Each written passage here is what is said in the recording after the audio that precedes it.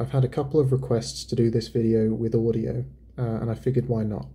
Today I'm going to go through a couple of neat tricks that I really like in Clip Studio Paint.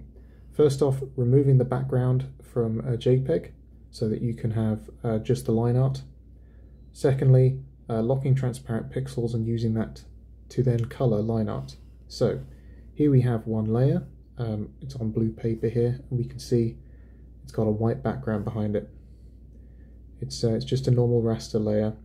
If you'd imported an image, you could uh, rasterize it. Uh, and what we're going to do is we're going to go up to Edit, and we're going to go Convert Brightness to Opacity.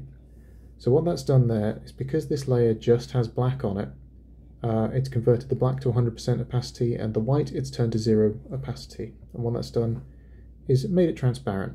This is really good for if you've been sent the line art from someone and they've not exported it properly as a PNG, just to quickly get your lines isolated.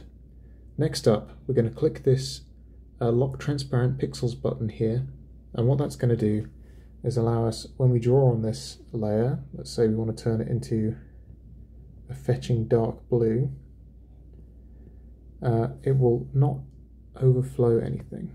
That's a bit too subtle actually, let's make it less, less so. So I can now go through here and colour all these lines without spilling over. Uh, really useful for me when I'm shading, uh, and then if you ever want to make more, more changes to the layer, you can just unlock the pixels whenever you like, then you can add to that layer. Uh, and that was me undoing that there. Uh, you can also um, use gradients.